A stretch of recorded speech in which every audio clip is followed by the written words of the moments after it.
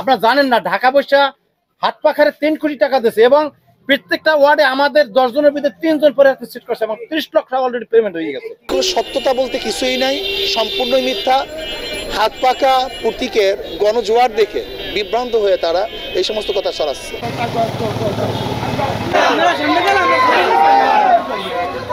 এই বিষয়টি আমাদের নখদর্পণে আসছে, আমরা দেখেছি। অলরেডি রিটার্নিং অফিসারের কাছে তার বিরুদ্ধে আমরা অভিযোগ দিয়েছি। গতকালকে থানায় কেস করার জন্য গিয়েছি। আজকে তার বিরুদ্ধে কোর্টে কেস করার জন্য আমাদের লোকজন আছে। তিনি কি মিথ্যে বলছেন শুধু মিথ্যাই নয় মিথ্যা তো মিথ্যাই। এর কোনো সত্যতা বলতে কিছুই নাই সম্পূর্ণই মিথ্যা। হাত পাকা প্রতীকের গণজোয়ার দেখে বিভ্রান্ত হয়ে তারা এই সমস্ত কথা মানুষকে সাবোটাজ? বিভ্রান্ত করার জন্য। হ্যাঁ এটা তো আমি মনে করি আমাদের বিরুদ্ধে একটা রিউমার আমার রিউমার ছড়ানো হচ্ছে। কারণ হাত পাকা প্রতীকের প্রার্থীর উপরে যেন মানুষ আস্থাহীন হয়ে যায় সন্দেহ সৃষ্টি করে। আমাদের শেষ আমি যদি সংক্ষেপে বলি, সেটা হচ্ছে আনিস মোহরি যিনি চব্বিশ নং ওয়ার্ড কাউন্সিলর, উনি আমাদের শায়েখের বিরুদ্ধে যিনি এখানে নির্বাচন করছেন, ক্লিন ইমেজের একজন প্রার্থী, মুফতি ফজল করিম সাহেব, ওনার বিরুদ্ধে তিন কোটি টাকা খেয়ে নৌকার বিরুদ্ধে অবস্থান নেওয়ার যে মিথ্যা, ভিত্তিহীন যে অভিযোগ তুলেছে, আমরা এর বিরুদ্ধে আজকে রিটার্নিং কর্মকর্তার কাছে অভিযোগ করেছি। তার অনুলিপি আমরা জেলা প্রশাসক বিএমপি কমিশনার, প্রধান নির্বাচন কমিশনারের কাছে দিয়েছি।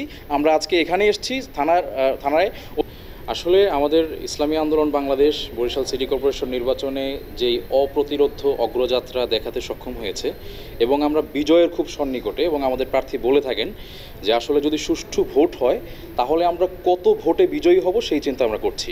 তো আমাদের এই অগ্রযাত্রায় ঈর্ষান্বিত হয়ে বলেন কিংবা হিংসাত্মক মনোভাবের বহির্প্রকাশ হিসেবে অথবা আমাদের অগ্রযাত্রাকে থামিয়ে দেওয়ার হীন ষড়যন্ত্রের অংশ হিসেবে, চব্বিশ নং ওয়ার্ড কাউন্সিলর শরীফ মোহাম্মদ আনিসুর রহমান, উনি আমাদের বিরুদ্ধে একটি মিথ্যা এবং আমাদের আমাদের প্রার্থীকে তার মানহানিকর এবং সম্পূর্ণ ভিত্তিহীন একটি অভিযোগ আমাদের বিরুদ্ধে উনি দায়ের করেছেন, একটি অভিযোগ এনেছেন গণমাধ্যম কর্মীদের সামনে, যেটা মানে লক্ষ লক্ষ মানুষ, মিলিয়ন মিলিয়ন ভিউ হয়েছে বিভিন্ন সামাজিক যোগাযোগ মাধ্যমে আমরা দেখেছি বিভিন্ন পেজে নাগরিক টেলিভিশন সহ অনেকগুলো গুরুত্বপূর্ণ অনলাইন এবং টেলিভিশনে আমরা সেটা দেখেছি, যেটা মানুষ দেখেছে।